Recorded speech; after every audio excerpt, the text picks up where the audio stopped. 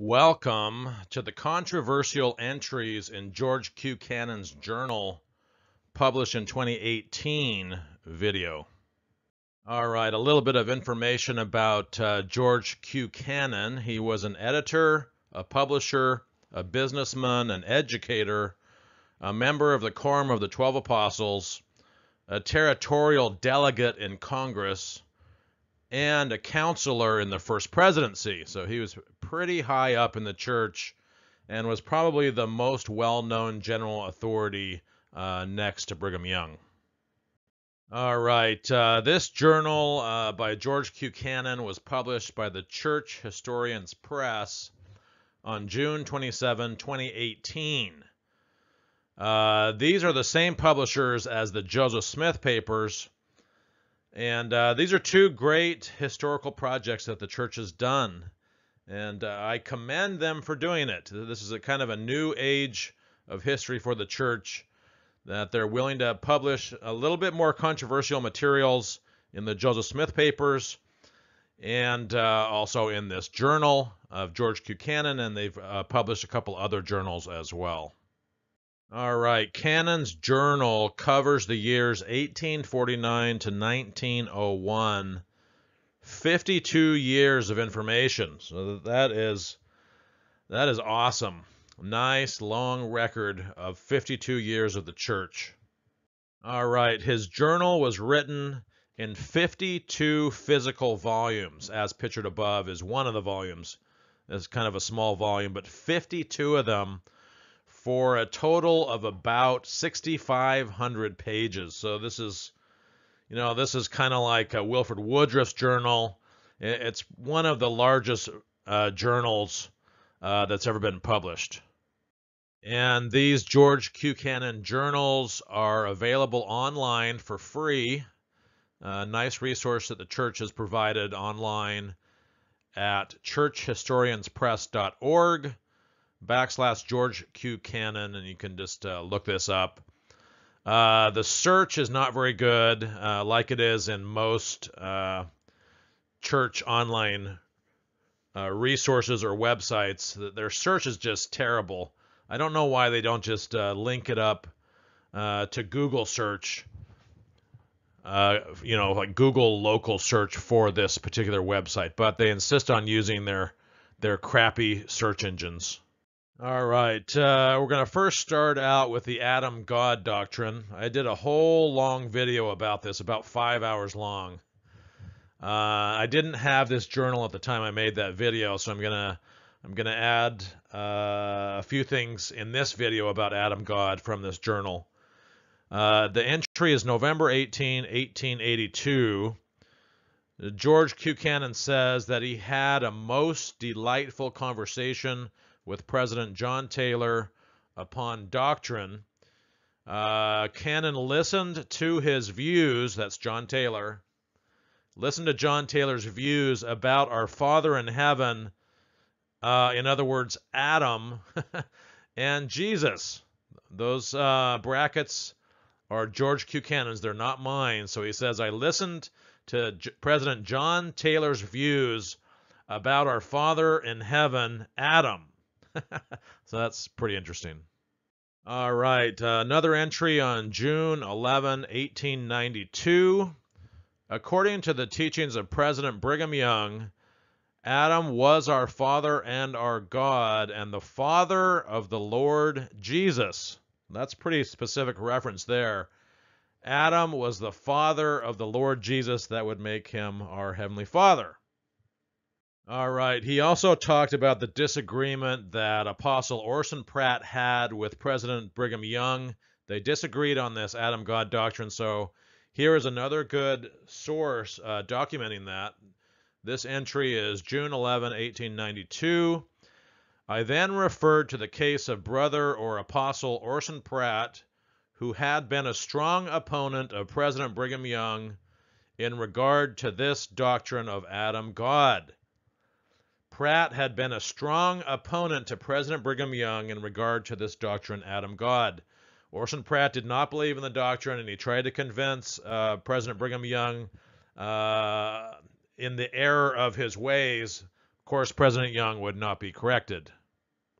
Okay, the same date of entry here. I, George Q. Cannon, related instances where Orson Pratt came very nearly losing his standing in the church and would doubtless have lost it if President Brigham Young had not been determined to hold on to him.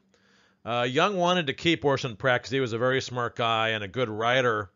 Uh, he was one of the main defenders of polygamy. Uh, uh Brigham Young really liked the work that he had done in The Seer, uh, in that paper, which became a book later on, uh, defending polygamy. And there's there's a book written by Gary James Bergera. It's called Conflict in the Quorum. The whole book is about these disputes between Orson Pratt and Brigham Young about Adam God, etc. So it's called Conflict in the Quorum, Orson Pratt, Brigham Young, and Joseph Smith.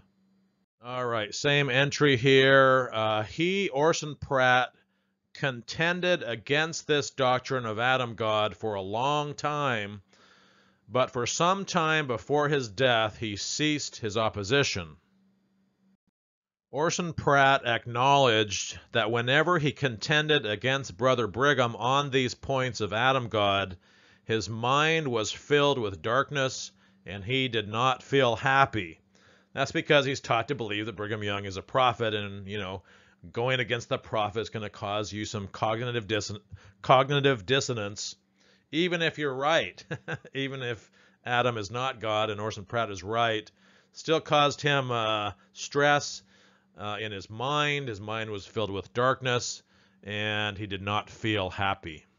Okay, but when he, Orson Pratt, received the doctrine of Adam God, he received it and submitted to the teachings of President Brigham Young, his mind was light and clear, and he had peace.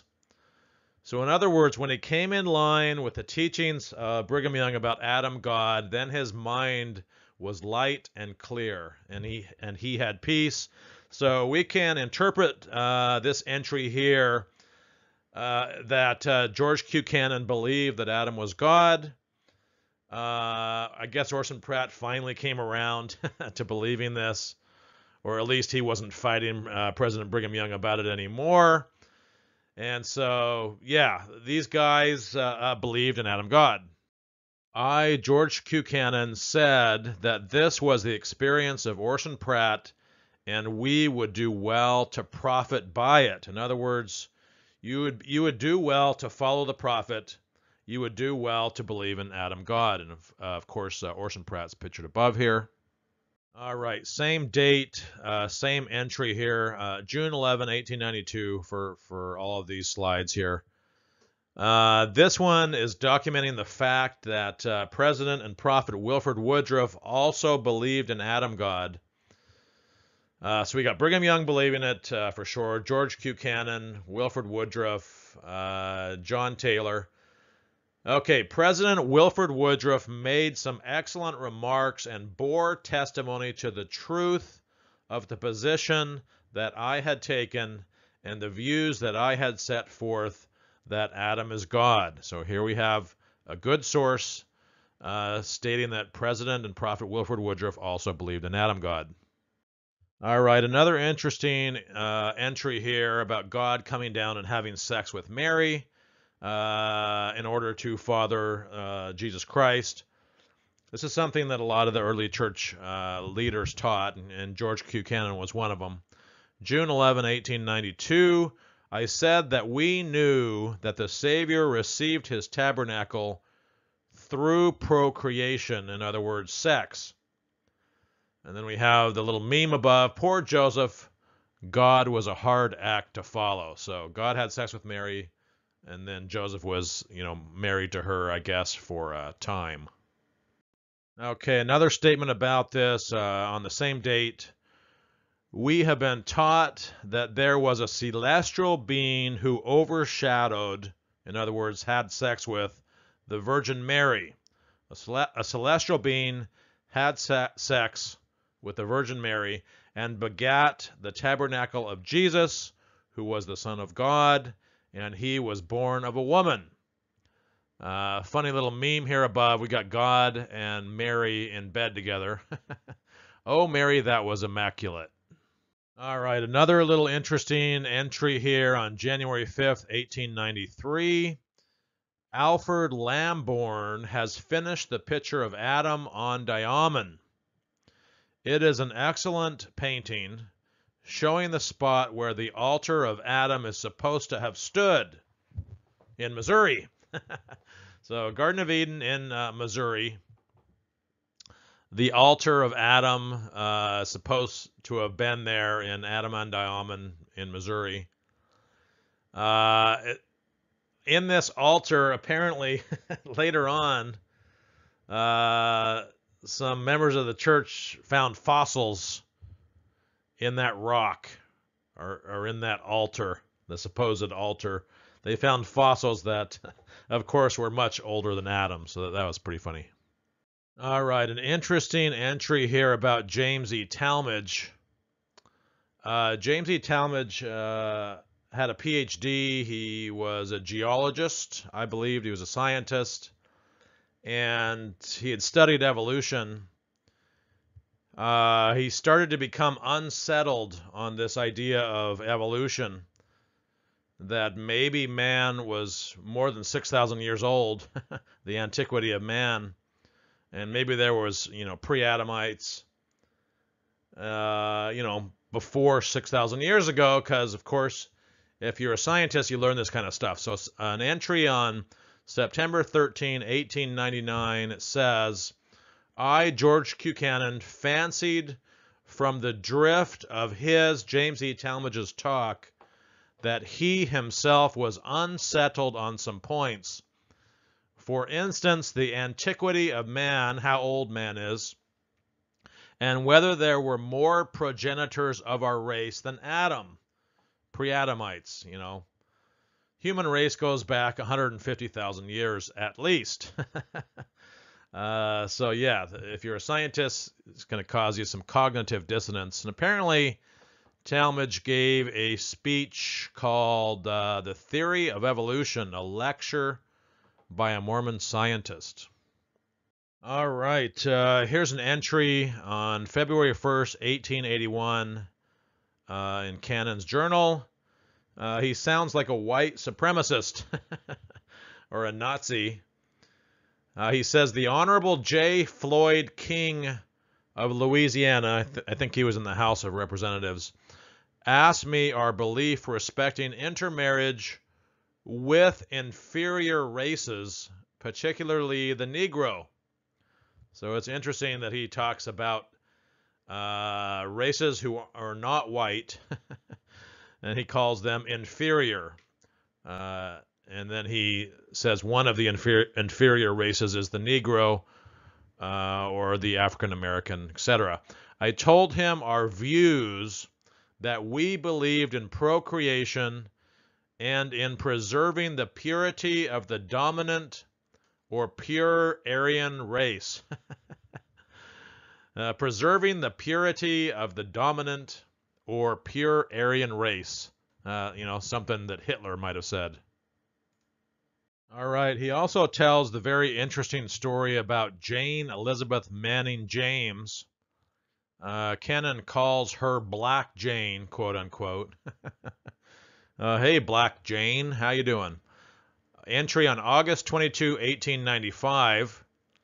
He says Black Jane, quote unquote, is extremely solicitous to have the privilege of going to the temple and receiving her endowments. And of course, uh, Jane is pictured above.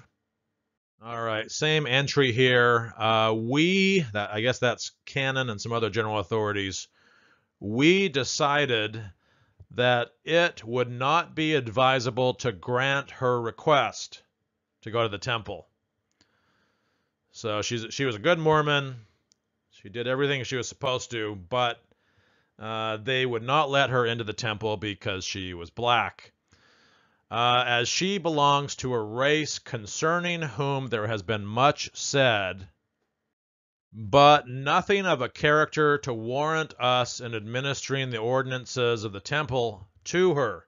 There's been a lot said, uh, but there's been nothing said by the prophets and apostles of a character to warrant the church in administering ordinances to black women or to black people. Black people could not go to the temple.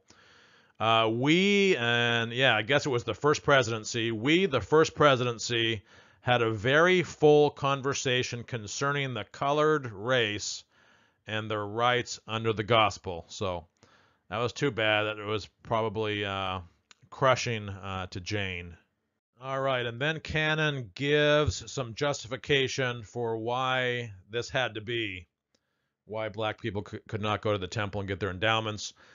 It was related to me by President John Taylor, and it was this that Abel, having been slain by his brother Cain before he had posterity, the fiat of the Lord had been that Cain's descendants should not receive the blessings of the priesthood until Abel's posterity should come forward and receive tabernacles and the priesthood. So all, I guess all of the descendants of Abel, all the white people, had to receive uh, the priesthood first. Okay, same entry here. Uh, the Negro race have been debarred from the priesthood.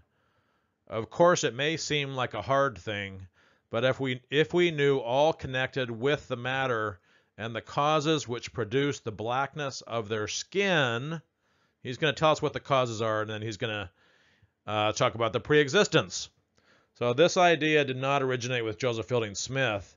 It came uh, a long time before, like 50 years before, uh, with people like um, George Q. Cannon and John Taylor. And then John Taylor said he got the information from Joseph Smith, which we'll talk about in another slide. And then here's a meme here. It's a letter from the first presidency to Dr. Lowry Nelson, July 17, 1947. Uh, from the days of the prophet Joseph even until now, it has been the doctrine of the church, never questioned by any of the church leaders, that the Negroes are not entitled to the full blessings of the gospel. So, again, another interesting statement uh, in a letter from the first presidency. All right, so then Cannon continues. Uh, he gives his justification uh, why blacks could not have the priesthood and go to the temple. And all that had taken place in the spirit world, we would see that the Lord in this case, as in all others, is just. So it's something they did in the spirit world. Uh, they were neutral, they were not valiant, uh, kind of fence sitters, as, as some of the general authorities have said. And here's a picture of the preexistence. I guess that's God uh, with some of his spirit children and uh, three white ones and one black one. All right, another question that came up and that he wrote about on December 16, 1897, uh, talking about intermarriage. The question also came up whether a white man who was married to a woman having Negro blood in her veins could receive the priesthood. So, white man marrying a black woman uh, with Negro blood, could this white man receive the priesthood? You might be surprised at the answer here.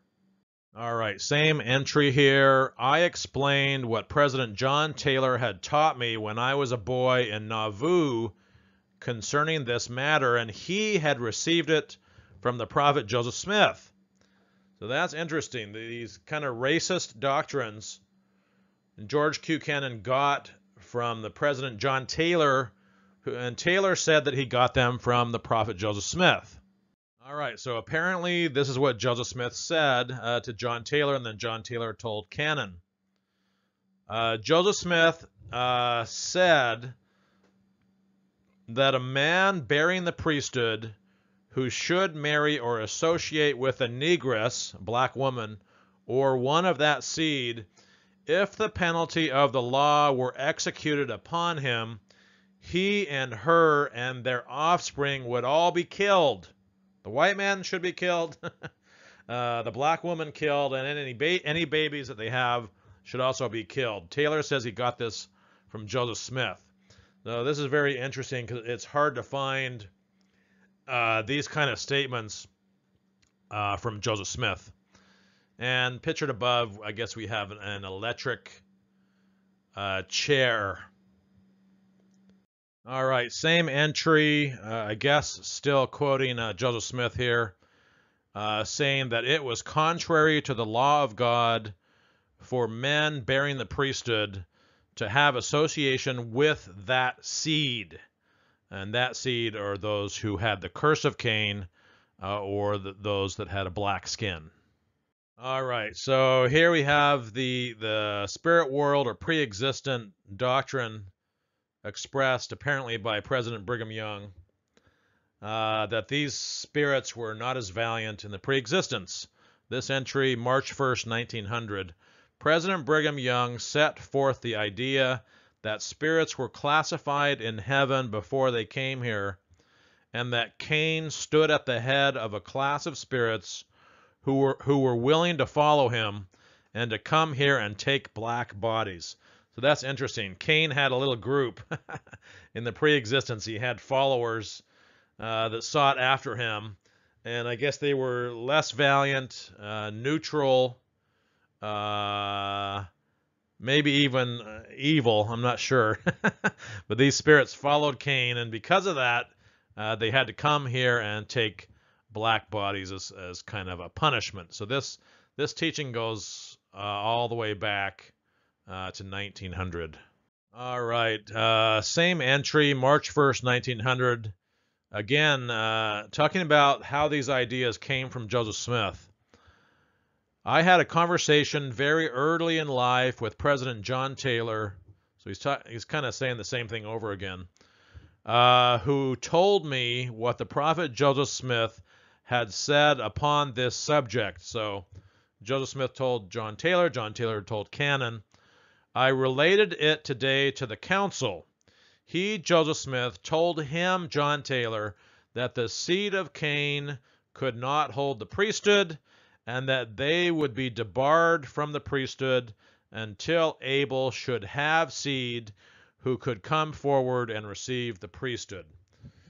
Uh, so, yeah, interesting stuff. I did a whole video on the racist origins of the Mormon church, and, you know, these kind of statements would have uh, fit nicely in that video. All right, same date here. I said to the brethren that my view was that no one having any of this blood in their veins, no matter how small a drop it may be, could possibly hold the priesthood. So, anybody, uh, any man having one drop of Negro blood, African American blood, one drop would disqualify you from holding the priesthood uh, of course, women cannot hold the priesthood, but I guess you could say the same thing. If a woman has one uh, drop of Negro blood in them, they can't go to the temple and uh, cannot marry a white man. All right, an entry on August 18, 1900. President Brigham Young had stated positively that no Negro had a right to hold the priesthood. Okay, uh, same date here. He talks about Enoch, who had preached to all except the descendants of Cain, in other words, the black people. He didn't he didn't preach to the black people, showing that they were accepted from the privileges and blessings that the white race were entitled to. Again, white supremacy Uh, they were accepted from the privileges and blessings uh, that the white race uh, were entitled to. He also talks about the curse of dark skin coming upon the Lamanites, March 26, 1854. Uh, your fathers, the Lamanites, brought the red skin upon them in consequence of disobedience to the very priesthood which you have now in your midst. If you pay attention to it, it will exalt you, and through it, this curse will be rolled off from you. So this is kind of different than the black people. The Lamanites, if they were valiant uh, and you know kept all the commandments of God, uh, could have the curse of their dark skin rolled off of them. of course, that never happened. Uh, in the Book of Mormon, it says they will become white and delightsome.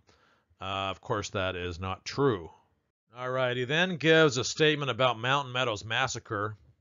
This is pretty interesting on an entry on January 27, 1884. Uh, this company, the Fancher Baker Wagon Train, had by their outrageous course provoked the fate which they met. They had it coming. Uh, they they deserved it. You know, blaming the victim here. uh, you can watch my other video about the Mountain Meadows massacre cover-up. Uh, some stake presidents and bishop in southern Utah slaughtered the Fancher Baker wagon train of men, women, and children, mostly women and children, uh, with the help of the Indians, slaughtered about 120 of them. And one of the apologetics was to blame the victim. And that's what Cannon does here in his journal. They provoked the fate which they met. And of course, the church doesn't even teach this anymore. If you read their latest book on Mountain Meadows Massacre, uh, they say that uh, they did not deserve to be slaughtered. I did not justify it and shrank with horror from the contemplation of it, but I felt no sense of responsibility connected with it. Of course not. That's the same thing that uh, President Gordon B. Hinckley was saying at the dedication of the monument. That the church had no responsibility for it. It was kind of this rogue small group of Mormons in southern Utah uh, of course, you can watch you can watch my other video about it. It's fascinating uh, about the the big cover up, and uh, you know why were they covering it covering it up if they had no responsibility for it. Uh, neither did I think any belonged to us as a people. Any of the responsibility? No responsibility for Cannon, Uh, no responsibility for the Mormons as a people. And of course, that's all nonsense and uh, reparations should be paid. Okay, an interesting entry here on blood atonement. Did a whole video about this. Uh, this should have been in that video, but I d- I didn't have this journal at the time. Uh, April 17, 1874 entry. Uh, I said that we believed, that's Cannon, we believe that a man who committed murder, adultery, or seduction had forfeited his life, and that it would be better for that man in eternity if he atoned for his crime with his blood in this life. So, blood atonement, shedding your own blood to make amends make amends for or atone for murder, adultery, seduction. There are some other crimes as well that Brigham Young uh, mentions. But he changes a few words here. He, he crosses out a few words, so I'll read it uh, with the words that he crossed out as well. I said that we believe that a man who committed murder, adultery, or seduction ought to be killed, and that he crossed out and put in uh, had forfeited his life. So interesting stuff. All right, kind of a secretive passage here that he wrote in his journal. He wrote this in Hawaiian. So uh, apparently this was sensitive information that he didn't want every, everybody to be able to read.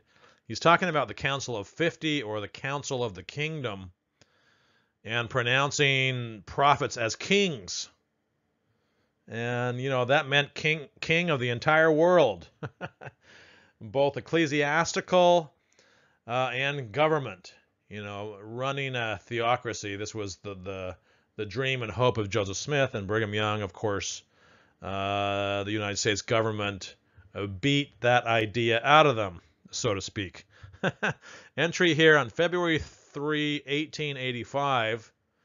President John Taylor was anointed with oil as a ruler over the kingdom of God here on earth. So maybe around that time, February 3rd, 1885, the prophet John Taylor anointed with oil as a ruler over the kingdom of God here on earth. He doesn't use the word king, so I'm not sure if John Taylor was to be a king. And then he says the prophets Joseph Smith and Brigham Young were received by the Council of the Kingdom, that's Council of 50. They were received as prophet, seer, revelator, and king. So Joseph Smith and Brigham Young were kings. Uh, here's a little um, note here that's on the uh, Council of 50 Minutes, I think. Record of the Council of 50 or the Kingdom of God, 1844. All right. Uh, there's some other interesting entries here in his journal, and controversial entries probably, uh, about polygamy. There's about 320 mentions of the word polygamy in these journals. Um, I didn't want to go through all that. It, it seemed like a, a fairly complicated issue because a lot of the entries had to deal with their negotiations with the government. Somebody could do all that research uh, you know, and uh, make a book out of it or add it to a book or, or a journal uh, article about all the battles that uh, the church had during this time period uh, with the United States government over polygamy. Uh, so that's for another video or for another person to do. I didn't do all those. but that's going to do it for this video. And I thank you for watching the controversial entries in George Q. Cannon's journal published in 2018 video.